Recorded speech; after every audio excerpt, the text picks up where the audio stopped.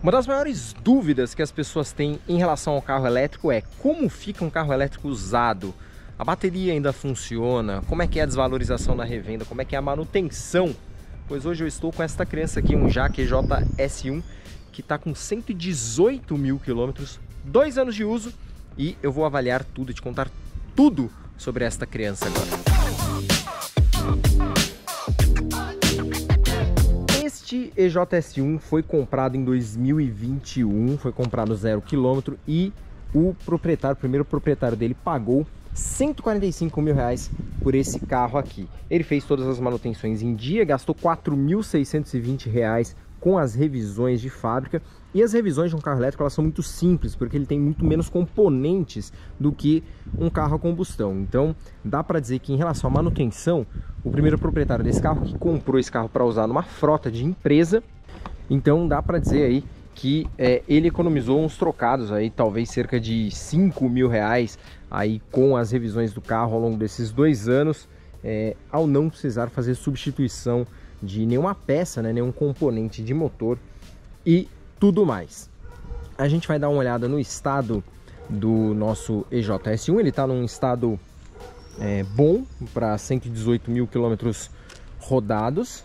Ó, dá para ver que o carro está inteiro num geral, mas é claro que principalmente pelo fato dele ter sido usado para frota, já tem alguns detalhes. Os para-choques dele estão íntegros, esse carro é na cor branca com detalhes num rosa fosco aqui, num rosa acetinado, né? O EJS1 é um carro que traz sempre cores uh, chamativas para o mercado brasileiro. Teto bicolor e ele está aparentemente bem. Tem algumas rodas raladinhas a gente está vendo aqui. Esses pneus já estão em fim de uso, eles são de uma marca chamada Fusion e eu não gostei deles, achei é, pneus muito pouco aderentes, né, ou pouco aderentes, aro 14 aqui, mais ralados nas rodas. Aqui embaixo, se a gente olhar, a gente vai ver que tem também algumas marcas, né, desse carro ao, pass ao passar por transposição de valeta e tudo mais, que acabou pegando ali embaixo no assoalho, dá para notar também. As baterias ficam posicionadas no assoalho, mas é tudo muito bem protegido. O carro está íntegro no geral, só algumas marquinhas mesmo, alguns desalinhamentozinhos aqui, como por exemplo é, nessa borrachinha do capô, mas no geral o carro está muito bem. Vamos ver aqui atrás, o EJS1 é um carro bem compacto, o porta-malas dele tem menos de 200 litros de capacidade, são 171 litros de volume. A gente vai colocar todas as dimensões desse carro na ficha técnica e aqui está o cabo de carregamento dele, que é um cabo é, para tomar, é um cabo bifásico, né, para uma tomada convencional, né, de 220 volts. Deixa eu abrir aqui para mostrar para vocês. Aqui está o um adaptador. Então ele vem com esse cabo e ele vem com um adaptador para você plugar num, numa tomada de recarga rápida. Isso aqui pode gerar problema, tá? Porque nem todo carregador rápido aceita cabo com carregador, ele pode bloquear a recarga por questões de segurança. A gente vai testar na prática se eu vou conseguir ou não fazer a recarga dessa criança aqui. Vou mostrar um pouquinho aqui do acabamento interno, a qualidade que está. Só que é, eu já falo para vocês o seguinte, esse carro aqui tem uma autonomia de cerca de 300 km declarada pela Jaque. No Inmetro essa autonomia é de 160 km e eu vou contar para vocês na prática se eu estou alcançando isso ou não, como é que está o uso da bateria no dia a dia depois de quase 120 mil quilômetros rodados. Ó, gatilhos aqui das maçanetas funcionando bem. Esse carro tem um acabamento em couro nos bancos, o estado está íntegro aqui atrás. Só tem um risquinho aqui, os tapetes estão no estado íntegro também. E o acabamento dos, das portas, ó, num nível bem satisfatório também. Os encaixes estão corretos. Aqui na frente, as portas também estão num estado legal. O painel também, volante, o quadro de instrumentos é digital, central multimídia, não tem Android Auto nem Apple CarPlay, eu vou falar mais disso em uso, tem só espelhamento do celular. Aqui o cabo que eu estava usando para fazer esse espelhamento, freio de estacionamento eletrônico, botão de partida, nicho para colocar objeto, um apoio-abraço para o motorista. Aquela ali é a caixinha da minha GoPro. Ó, o acabamento dos bancos com encosto de cabeça inteiriço tá legal também. Por dentro, quem usou esse carro conservou bem. E aqui tem um nicho gigantesco para colocar objeto. Não é muito prático, mas a gente tem aqui também ó, tomadas USB para recarga e para espelhamento, tomada 12 volts. E este é o interior do Jack EJ1 com, ó, vou mostrar aqui para vocês. Neste momento que eu estou gravando, quase 119 mil quilômetros rodados.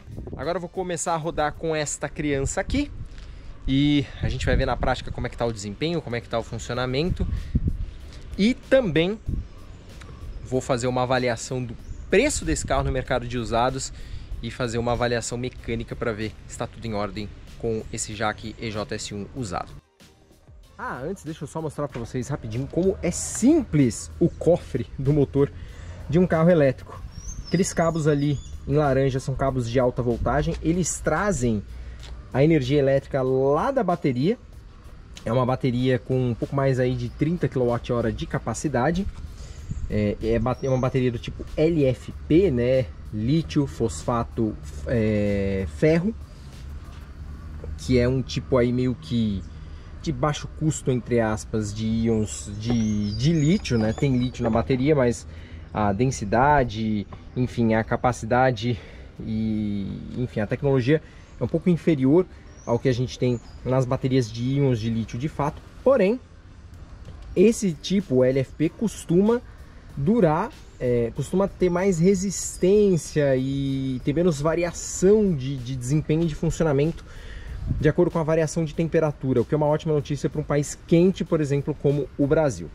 Então aqui os cabos de alta voltagem, aqui é um inversor que faz a transposição de energia de corrente alternada, né, de corrente contínua, aliás, DC em corrente alternada, AC, para alimentar o motor elétrico que fica aqui embaixo, um motorzinho muito compacto. E esse motor elétrico faz então aqui o tracionamento das rodas. Ali atrás, eu não sei se vocês vão conseguir enxergar ali ó, o diferencial do carro e o diferencial faz é acoplado diretamente ao motor e faz também aí a distribuição dessa energia para as rodas dianteiras, sem caixa de câmbio, tudo muito simples, por isso que a manutenção é muito mais prática, né? As revisões do carro são muito mais práticas, fluido de freio, líquido aqui para o limpador de para-brisa, a bateria para alimentação dos sistemas elétricos e eletrônicos do carro, né? Com os fusíveis aqui, os chicotes, tudo muito simples no acabamento deste elétrico da Jaque a gente está vendo aqui. Vamos então dar um rolê aqui com o nosso Jaque EJS1 com quase 119 mil quilômetros rodados. É, aqui como eu mostrei para vocês, ó, tô com 91 quilômetros rodados na minha viagem desde que eu peguei o carro, 51% de bateria e está, portanto, fazendo aí, formando uma autonomia próxima aí de uns 180 km mais ou menos. Ele marca aqui 148 km de autonomia, mas esse número eu vou falar para vocês, ele é, é, um tanto otimista, tá? Ainda assim, estou é, usando na cidade tranquilamente, o meu trajeto de casa até o trabalho é longo, são mais de 30 quilômetros, eu moro na zona norte de São Paulo, meu trabalho fica na zona sul, então é bem é... Tranquilo, não tô com medo de ficar com pane seca. A bateria tem se comportado muito bem, mesmo num dia frio como hoje. Queria mostrar para vocês isso aqui, ó. Central multimídia tá é, com o meu celular espelhado num, num, sistema chamado EasyLink. Olha ali, o meu o cabo tem que ser um USB tipo A. Ele tá pareado aqui nesse segundo USB. Esse aqui é só para recarga, esse aqui é o USB para o pareamento. E é, ele ativa um aplicativo aqui no seu celular, cujo nome agora eu já não me lembro direito, ó, Carbit Link. Quando eu, eu pluguei, ele entrou direto nesse aplicativo, não precisei instalar nada, isso foi uma boa notícia. E ele fez aqui a configuração até com facilidade através desse sistema aqui EasyLink. O carro tem que estar ligado no USB e no Bluetooth. Mas vocês vão observar que não é um Android Auto. Então, ou seja, tudo que eu mexer aqui, ó, no meu celular vai aparecer aqui na tela do aparelho e eu acho que se eu virar aqui a rotação da tela para a lateral, vamos descobrir isso agora, que ele vai rodar a tela para o lado também. Espera aí que eu não não tô conseguindo fazer isso. Deixa eu ver ao entrar no Google Maps se olha só a vida melhorando. Então, deixei aqui, eu vou o que, que eu vou fazer? Não é a a mudança das mais intuitivas, eu vou travar aqui no modo paisagem o meu celular para ele ficar na horizontal, mas você vê que eu tenho que deixar a tela aberta o tempo inteiro e aí eu consigo mexer aqui. Olha só, vou colocar o trajeto até o meu trabalho. Vocês estão vendo aqui, ó, 33 quilômetros eu vou rodar agora no sentido do meu trabalho. Vamos começar a rodagem aqui, ó. Espelhinho retrovisor do EJS1 ele já tem essa alavanquinha aqui para você uh, mexer aqui, né? Ativar a função manual de anti-ofuscamento, digamos assim. É, ou mudar aqui a angulação do espelho para olhar para as crianças sentadas no banco de trás. Enfim, manopla do câmbio está aqui, como eu já mostrei para vocês, está no P, vou colocar no D desativando o freio de estacionamento eletrônico e vamos embora rodar com o EJS1. Qual é a desvantagem de você não ter o Android Auto aqui e ter o espelhamento do celular? Porque você pode pensar, nossa, mas o espelhamento é muito mais fácil, qualquer recurso do meu celular eu já mexo pelo celular mesmo. Só que quando você está dirigindo é horrível, porque aqui, por exemplo, eu tô com o mapa ligado.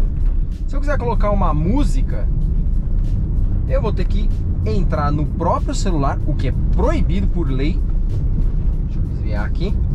O que é proibido por lei para uh, ah, entrar, no meu caso, eu entro no Deezer, não é no Spotify, e aí é, selecionar a música que eu quero e depois voltar no mapa também pelo celular. O que eu nem vou fazer agora, uh, até porque eu tô falando com vocês, não vou ligar a música. Mas assim, é, a, a situação mecânica desse carro, num geral, me agradou bastante.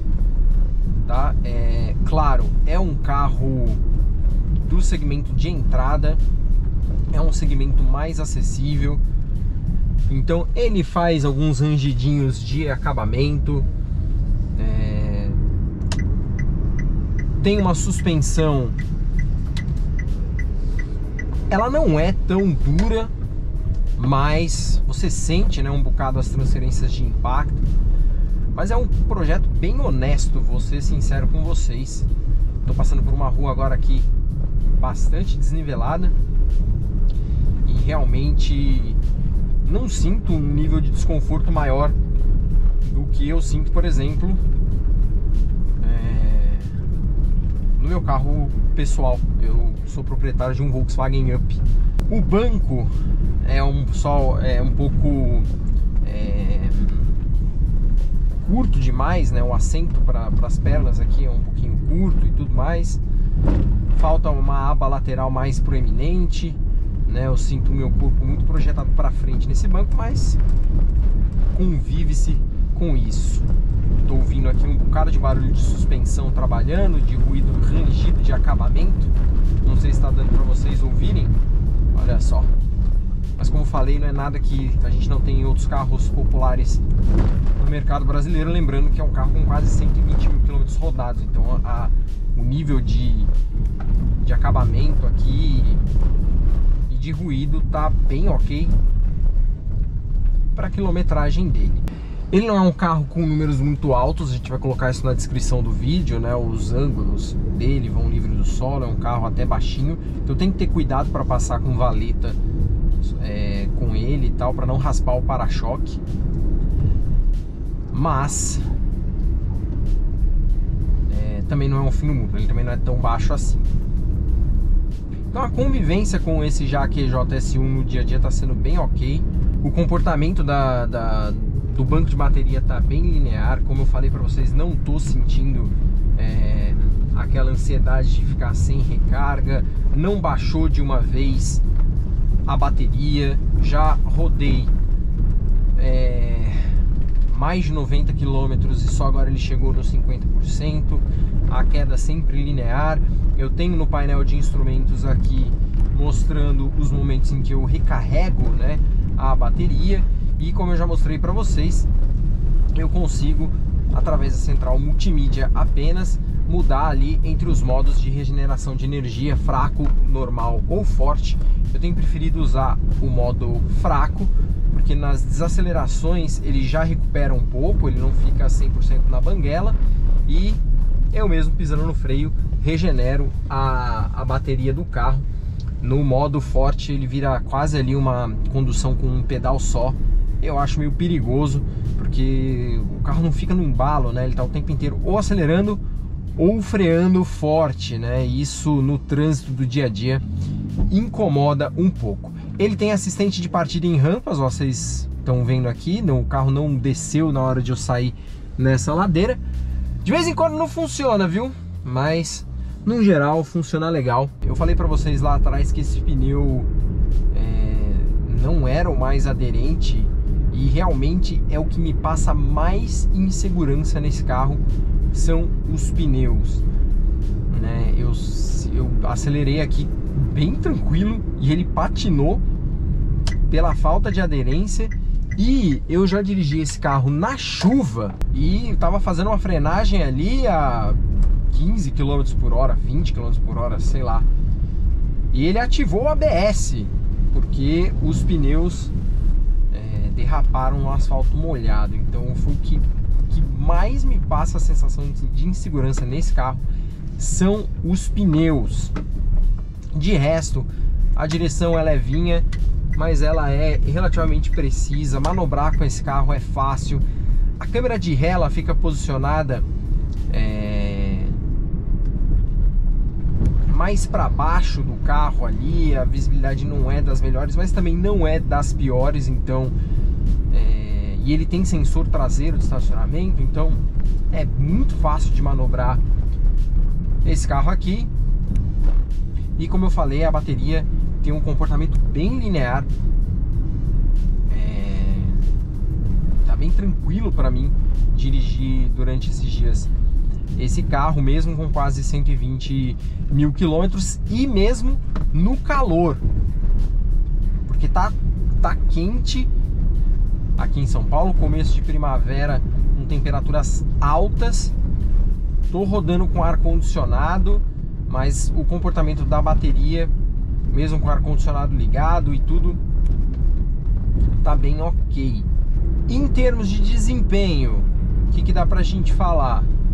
Falta, né, velocidade final, porque a potência é pequena, são só são um pouco mais de 60 cavalos, são 62 cavalos de potência apenas, o que é menos do que qualquer carro 1.0 entrega hoje no Brasil. Mas para usar na cidade, a gente está falando de um torque de 15,3 kgfm.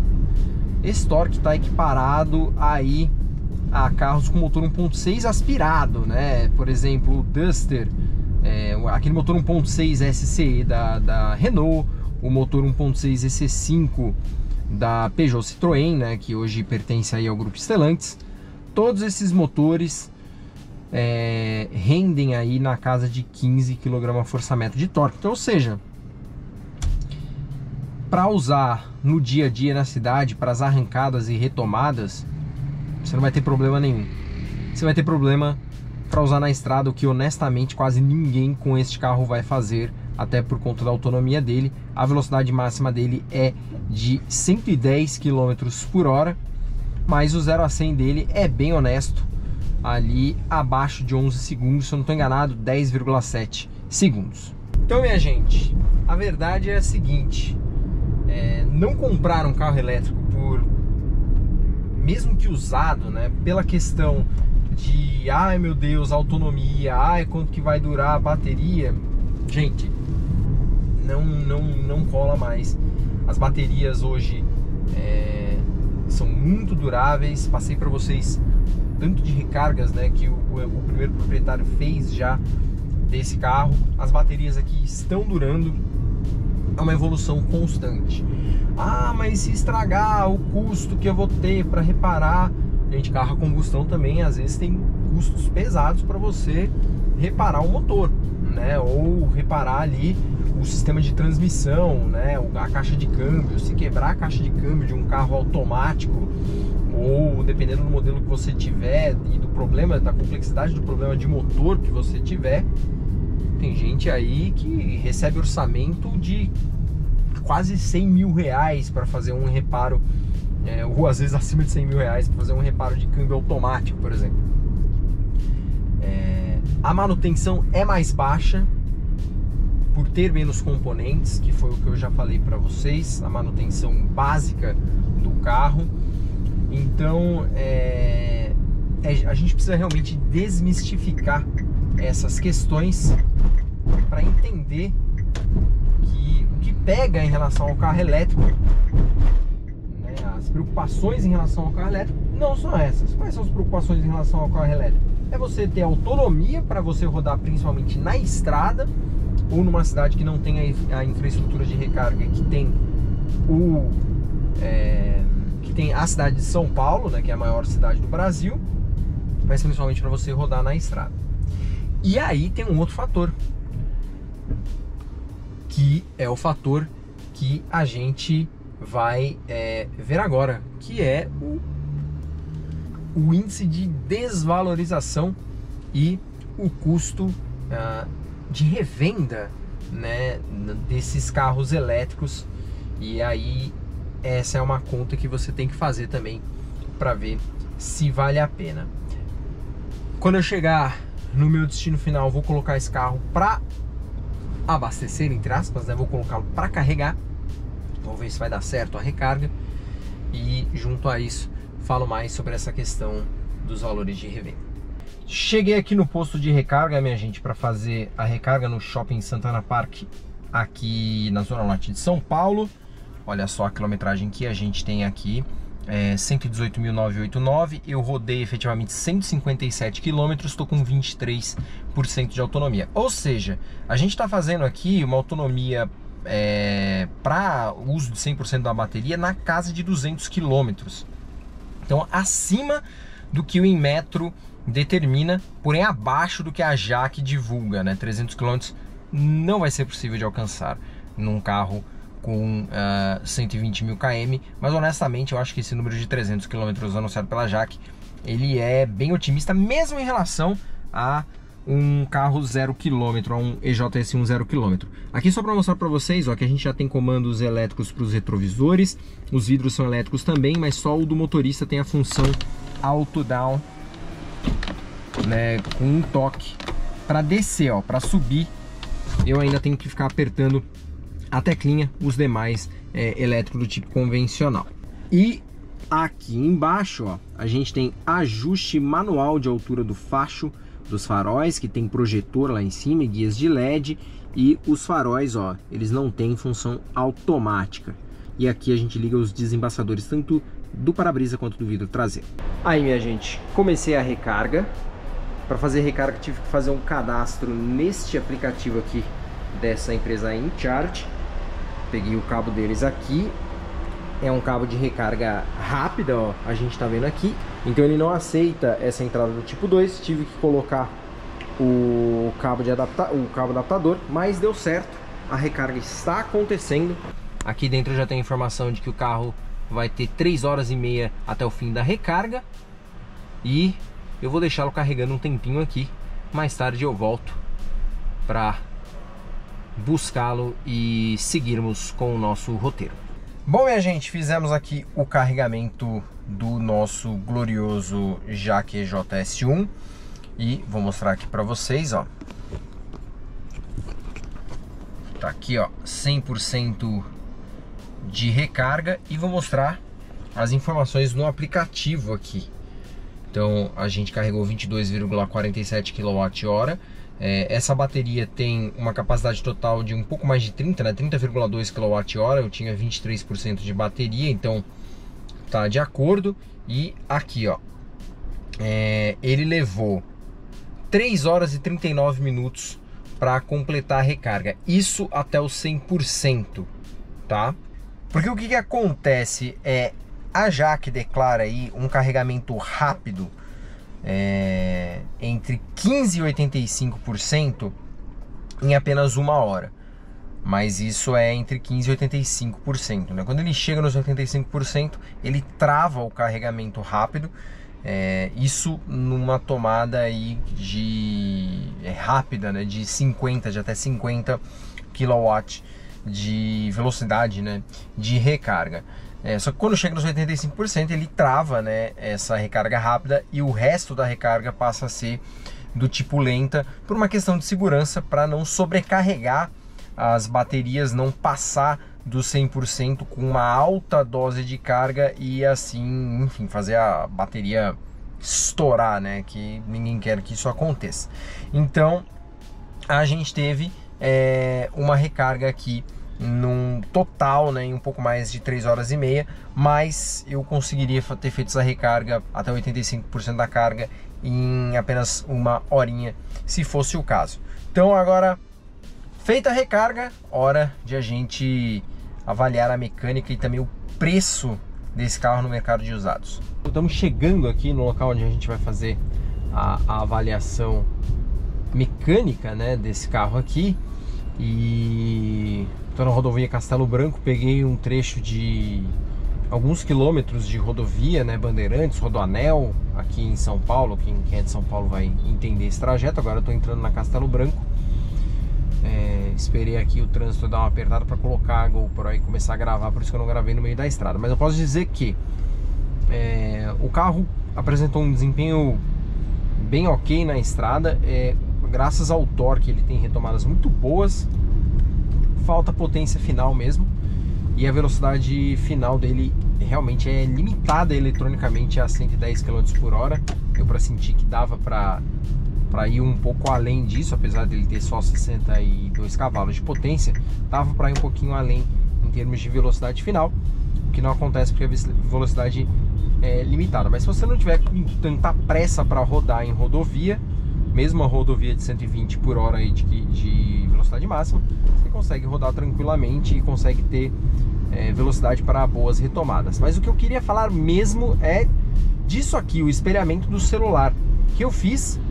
E eu tinha falado para vocês que você tem que mexer pelo celular para fazer os ajustes, mas não, eu descobri que, olha só, você consegue fazer, é, acessar toda, todo, toda a tela, né, todos os comandos do seu celular aqui pela é, própria central multimídia.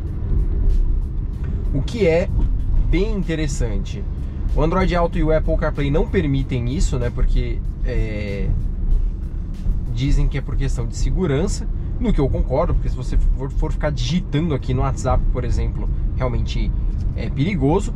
Só que você tem a função de mandar áudio, que você não tem no Android Auto e no Apple CarPlay. É, e nem de ouvir áudio, né? Porque lá, mesmo que você mande uma mensagem por comando de voz, essa mensagem é convertida em texto. Então vamos fazer aqui um teste, ó. Testando o áudio enviado pelo Jaque EJS1 com 119 mil quilômetros rodados. Agora vamos rodar para ver se dá certo.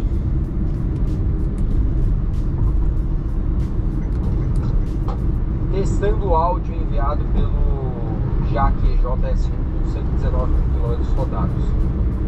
Olha só a vida melhorando a bordo do EJS1 com 119 mil km rodados. O... Agora subiu no meu conceito esse sistema de espelhamento aqui do celular. Mas não fiquem usando o WhatsApp com isso aqui ligado, hein? É só realmente uma situação emergencial que você consegue mandar um áudio e mexer pela própria central multimídia. Bem interessante. Chegamos aqui, a gente está na Dota Treinamentos, na verdade na Neo Automotive, que é um braço da Dota Treinamentos, especializado que está sendo criado com especialização para reparar carros híbridos e elétricos. Aqui ao meu redor tem um monte de carros híbridos de luxo e o nosso EJS1 tá aqui em cima na plataforma. Junto comigo está aqui o Nelson Fernando, que é consultor técnico aqui da Dota. Tudo bem, Nelson? Tudo bom. Bom, Vamos, vem comigo aqui. Vamos entrar aqui na, na parte de baixo aqui do EJS1 E conta pra mim, a gente tava vendo aqui o carro e dá pra ver que o carro teve um uso bem severo ao longo desses 119 mil quilômetros, né? Então conta pra gente o que, que você detectou aqui nessa subidinha dele. Sim, esse carro ele foi utilizado no uso bem severo, né? Dá pra ver pelos, pelos impactos no inferior, na parte inferior do veículo, né? Vários parafusos que sofreram impacto, mais o assoalho do veículo. Mas o que podemos ver é que a, a proteção, a integridade física dos componentes, nenhuma foi afetada. Você pega o pack de baterias aqui, você vê que somente a, a capa de proteção só que tem os salados, mas a estrutura dele de alumínio está totalmente indeformada, ela está perfeita.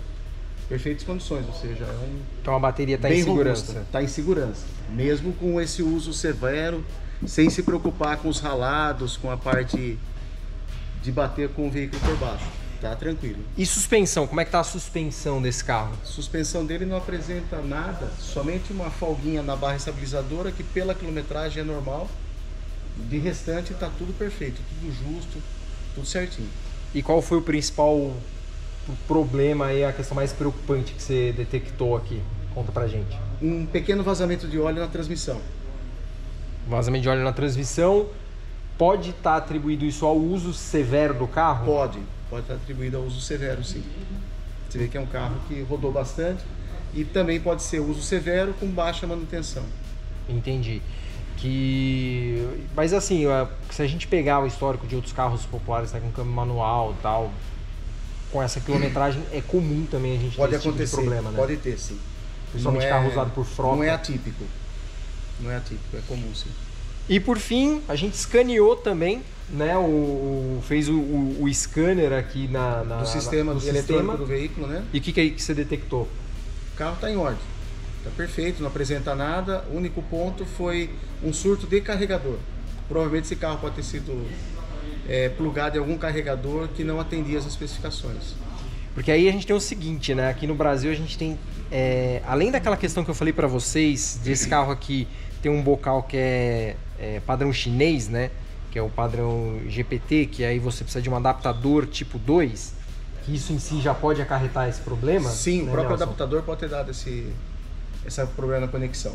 Além disso, tem uma questão que é a gente não tem uma padronização de carregadores, né? Então a gente tem muito carregador que não foi instalado corretamente, e aí o carregador, é, esses, essas falhas de instalação é, acabam acarretando esse problema é, no carregamento do carro que vai demonstrar ali no scanner, né? Isso, exatamente. Consegue, explica, consegue explicar um pouquinho mais pra gente como é que funciona isso?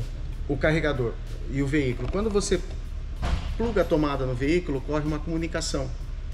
É, essa comunicação em código binário, eles se comunicam, o veículo informa como as características específicas dele e pede para o carregador X de carga. Se essa comunicação falhar ou tiver algum problema, ele vai entrar em emergência, ele vai dar esse problema. Ou se o carregador mandar mais tensão, mais corrente do que o veículo solicitou. Isso no longo prazo, o que, que pode é, é, acarretar, enfim, gerar de problema para o veículo? Podemos ter problema no BMS das baterias, que é o que faz o gerenciamento das baterias, ou alguma pane realmente de queimar algum componente eletrônico do veículo. Então, ou seja, vai ter um carro elétrico, cuidado com o local onde você escolhe para carregar o seu carro. Valeu, e a aquisição de carregadores, estão vindo muitos carregadores importados. Verifica a procedência, a qualidade do produto para não correr esse risco ou diminuir o risco. Excelente. Obrigado, Nelson. Obrigado. Ó, gente, então para finalizar tá aqui o que o Nelson falou, ó, suspensão traseira, molas, amortecedores estão íntegros, o eixo de torção, aqui a parte da bateria, a gente vê que o carro foi ralado algumas vezes, ó, mas ele tem essa manta protetora e além de, de ter essa manta protetora, óbvio, ele tem uma placa de alumínio enorme aqui que faz a proteção dessas baterias. Dá para ver aqui como o uso do carro realmente foi severo, ó, parafusos marcados aqui por pancada de asfalto, o Nelson me mostrou isso. E aqui a gente está vendo o trem de força dele. Olha como é pequenininho o trem de força de um carro elétrico. Isso aqui é o motor, tá? Essa aqui é a transmissão que ele apontou a parte do vazamento. Aqui é o compressor do ar condicionado e a suspensão dianteira com a barra estabilizadora com uma leve folga, como o Nelson apontou para a gente. Então, este é o estado mecânico do nosso glorioso EJS1 com 119 mil quilômetros. Honestamente, não esperava diferente. Acho que está ok aí de acordo com o carro com essa quilometragem. Bom, minha gente, então feita a nossa avaliação, achei bom resultado. Vamos falar agora e uso severo, vamos lembrar bem. Então, achei bem ok. Uso de frota de empresa, né? Mas vamos falar agora sobre é, revenda desse carro. Esse eu acho que ainda é o maior gargalo em relação ao carro elétrico, tá? Eu consultei algumas lojas multimarca, não consultei concessionária. Esse carro, por exemplo, foi revendido para a própria Jaque por é, 100 mil reais. É, mas a gente sabe que tem muita fabricante, principalmente essas que vendem carro eletrificado, que estão subsidiando compra de elétricos e híbridos usados a um preço maior do que o que esse carro tem efetivamente no mercado, é, para poder estimular a compra de um outro carro híbrido ou elétrico. Então isso tem acontecido. É, a tabela FIP desse carro aqui está em torno ali dos seus 120 mil reais, ano modelo 2022, que é o ano modelo desse carro aqui. Isso também é irreal, não se pratica esse preço é, no mercado no mercado de usados. Então, a, as cotações ali que eu consegui para você vender para uma loja multimarca foi com essa quilometragem que esse carro tá, tá agora entre 60 e 70 mil reais, que é um valor muito baixo, muito baixo. É, e a informação que me chegou é: se esse carro tivesse com uma quilometragem é, menor, né, ali por volta dos seus 30 mil quilômetros tal, daria para se chegar ali nos 90 mil reais, talvez até nos 100 mil que é, a própria Jaque recomprou esse carro do, do seu primeiro proprietário. E aí o valor para você comprar um comprar, né, um carro desses usado de uma loja, de uma concessionária ou de particular, aí sim você vai é, conseguir uma quilometragem mais baixa, você vai conseguir achar ali em torno de cento e poucos mil reais, 110 mil reais, 120 acho um valor bem é, alto, mas tudo vai depender obviamente do estado do carro, como já é o mercado no geral, né? da quilometragem. Um carro desse aqui com uma quilometragem mais alta, você vai comprar obviamente abaixo ali pelos seus 70, perdão, pelos seus 80 mil reais, você vai achar para comprar um. Então essa é a realidade de mercado. A depreciação de carros elétricos ainda é mais alta que a de carros híbridos. A Mob Auto tem estudos que mostram isso, que carros híbridos depreciam menos do que carros elétricos. Então, esse é o principal fator que fala contra, eu diria, a aquisição de um carro elétrico. Mas fora isso, mais de 119 mil, já bati 119 mil quilômetros rodando com ele esta semana. É, rodei bastante, já passei de 200 quilômetros rodados com esse carro. Estou sobrevivendo. A, é, tem claro a questão da infraestrutura de recarga, mas hoje numa cidade grande como São Paulo já dá para se virar muito bem. Então já dá para dizer que essa fase de ter medo de comprar um carro elétrico ou de como os carros elétricos serão no mercado de usados, isso aí, gente, já passou. Ah, mas o carro pode apresentar um problema de bateria, tal, tal, tal. Pode, assim como o seu carro a combustão pode apresentar um problema de motor, problema de câmbio Quantos casos você não vê de pessoas que têm câmbio carro com câmbio automático, o câmbio dá problema, 90, 100 mil reais para consertar. Então isso faz parte. Com o carro elétrico vai ser a mesma coisa. A gente já tem uma estrutura de reparação de carros é, elétricos que está se formando, gente que está se especializando nisso para tornar essa reparação mais é, palatável para o consumidor, para você não precisar trocar todo o pacote de bateria quando só tem uma célula dando problema. Você pode fazer o balanceamento dessa célula, você pode trocar só essa célula, enfim, tudo isso já está sendo estruturado para que o carro elétrico tenha cada vez mais uma manutenção que é menor via de regra do que no carro combustão, porque ele tem muito menos componentes, mas para que no, no bolso ela pese, não pese mais do que pese a manutenção de um carro a combustão. Então é isso, minha gente. Gostaram dessa, dessa variação, desse teste? Diz pra gente nos comentários o que, que acharam do estado do Jaque EJS1 no geral, se acharam um carro bem conservado ou não. Se surpreendeu para vocês o resultado dessa, dessa avaliação, o estado de conservação geral do carro, o preço de revenda. Se eu falei alguma besteira, diz também nos comentários, porque eu quero saber muito o que você pensa sobre tudo isso que a gente comentou aqui é, neste mob vlog diferente hoje com um carro elétrico de quase 120 mil km. É isso, minha gente. Eu te vejo no próximo Mob Vlog. Um abraço e hasta luego.